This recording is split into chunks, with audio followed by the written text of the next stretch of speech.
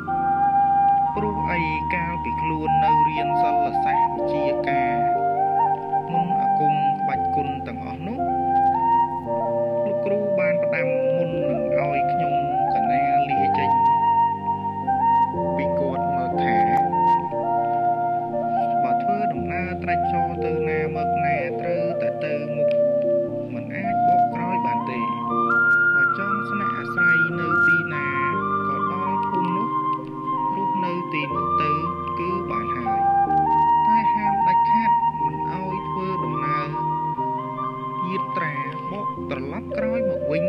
នោះទេ ជាពិសេសនៅកន្លែងឬក៏ទីណាដែលខ្លួនបាន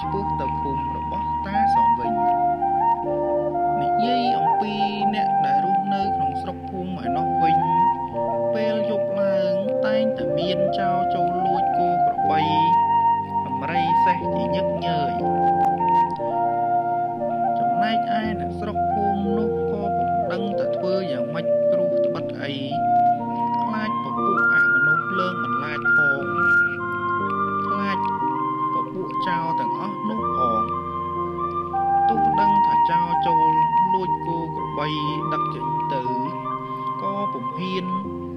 ចុះទៅតតាំងប្រយុទ្ធជាមួយចៅឡើយព្រោះដើម្បីតែចៅនោះក៏ចេះសោតសាយនៅមុនវិជាការហៅព្រាយខ្មោចមើកប្រើជាខ្ញុំកំដរវាដែរហើយក៏មានអ្នកភូមិខ្លះបានបាត់បង់ជីវិតដោយពពុះខ្មោចជាយីពេលដែលចុះទៅ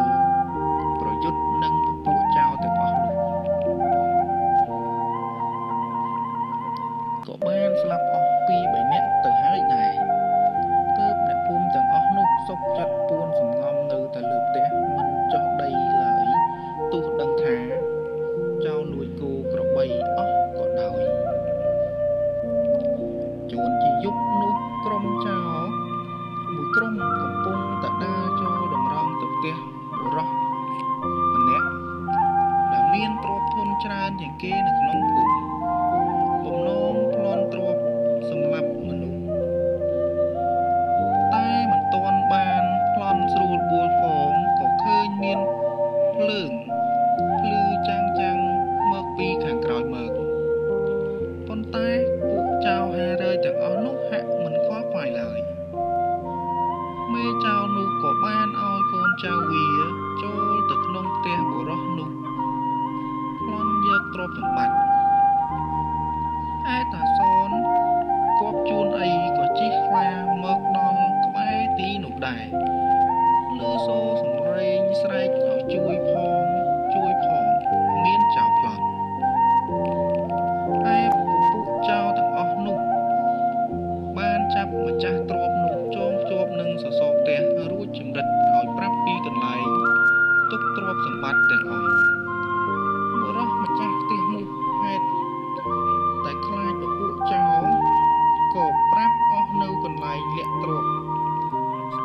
មានសល់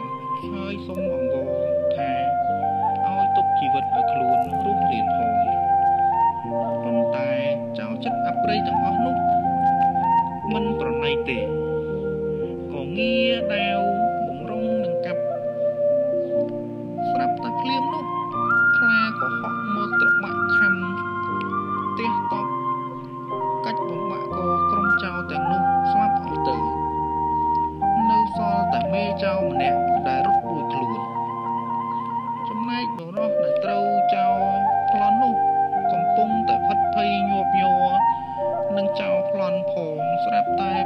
នឹងខ្លាដ៏ធំមហិមាកាចសាហាវ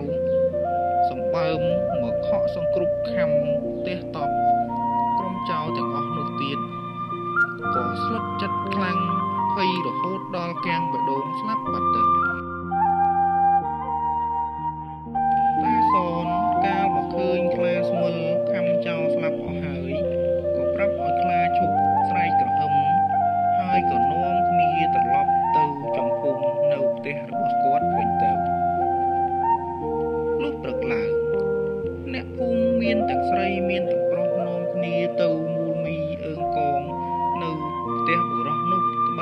ដឹងថាមានចោលទៅលួចថែមទាំងលឺស្នូរសម្រែកសាច់ខ្លាកងលំពើងពេញតែភូមិលុះទៅដល់ម្នាក់ម្នាក់ភ្ញាក់ផ្អើលខ្លាំងណាស់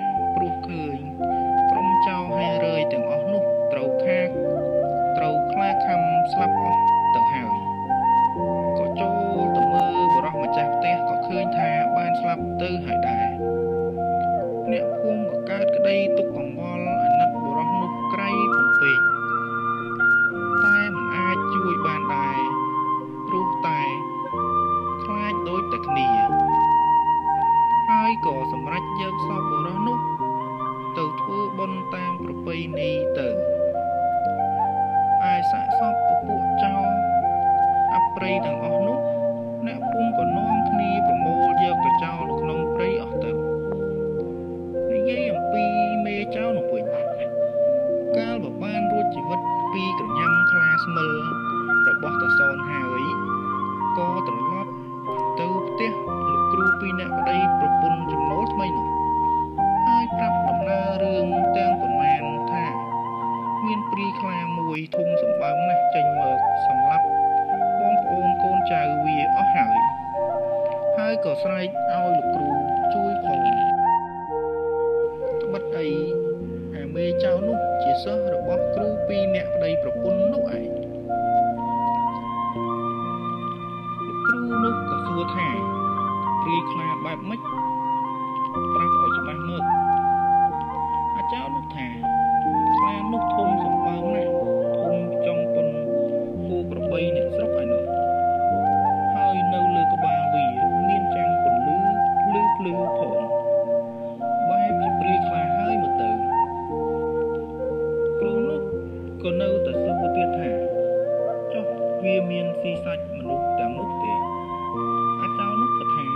អត់ទេ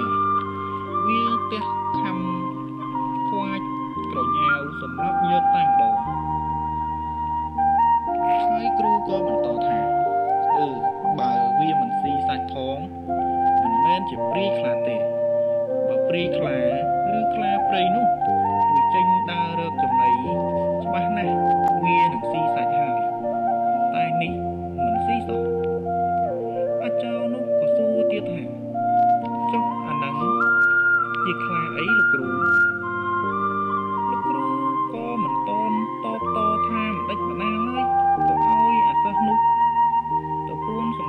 លើផ្ទះបាត់ទៅត្បិតអីខ្លាចអ្នកស្រុកដឹងរឿងបែកការលុះដល់ប្រលប់កាលណាក៏នាំគ្នាគ្នាប្តីប្រពន្ធពិភាក្សាគ្នារឿងខ្លានោះទើបប្រើឲ្យខ្មោចតៃហោងដើរទៅរកសាច់ខ្លានោះដើម្បីស៊ើបឲ្យដឹងប្រកាសថាខ្លានោះមកពីណាហើយ មានដំណើរដើមតើងម្ដេចម្ដា